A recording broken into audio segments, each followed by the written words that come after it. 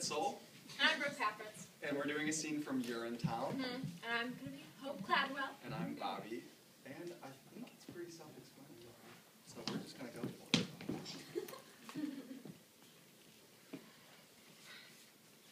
Did you mean what you said to those policemen about everyone having a heart? Well, sure I did. I mean, you wouldn't be feeling as bad as you did if you didn't have a heart. I don't know. I suppose not. Well, of course you wouldn't. Because then you'd be dead.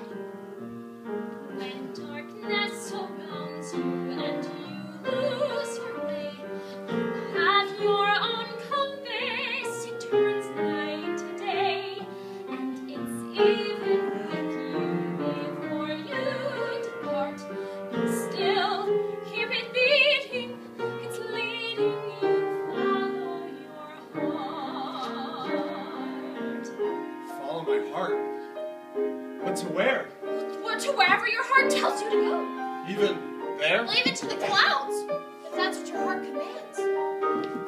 What's it say now? I don't know.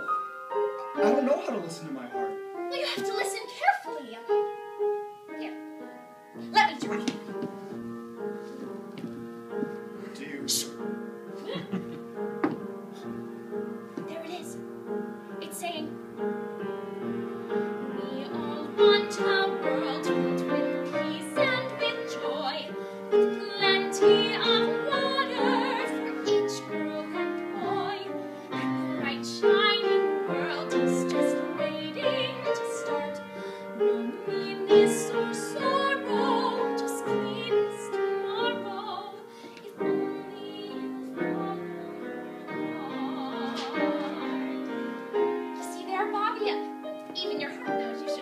You should follow your heart. Peace and joy. Plenty of water.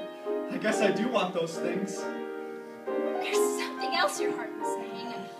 Maybe something I shouldn't have heard. There was? I think so.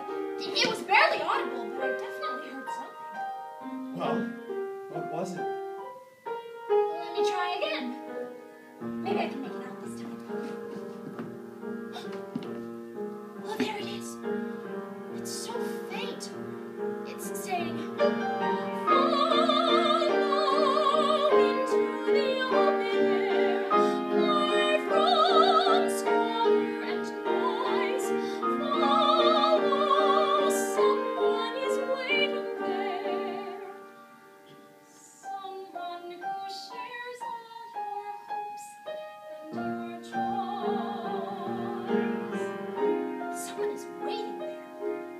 My heart was saying those very same words just the other day. It was? Sure it was.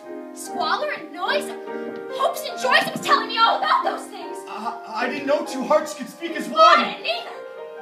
Until now. Here, listen.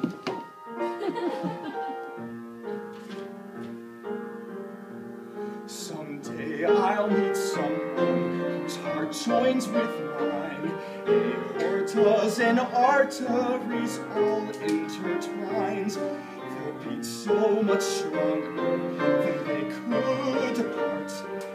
Chambers of muscle to hustle the love in our